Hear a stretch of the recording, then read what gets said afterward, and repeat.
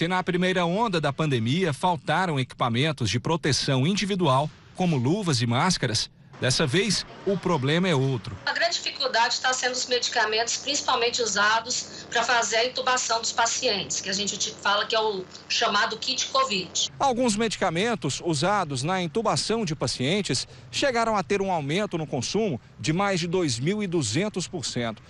E esses remédios, além de difíceis de comprar, também estão bem mais caros. O reajuste chegou a quase 700%. A maior alta foi do relaxante muscular Midazolam, o sedativo Propofol, que custava R$ 28,60 antes da pandemia, foi para 183 reais.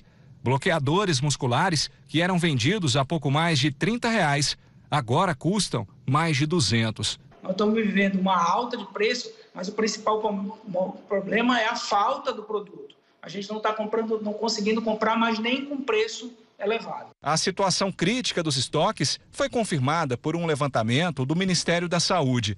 Todos os estados brasileiros e o Distrito Federal estão com problemas de abastecimento de bloqueadores musculares. Além disso, em nove estados também faltam analgésicos. Hospitais do interior do país enfrentam o problema desde a semana passada e por isso fecham leitos, porque não tem como atender os pacientes.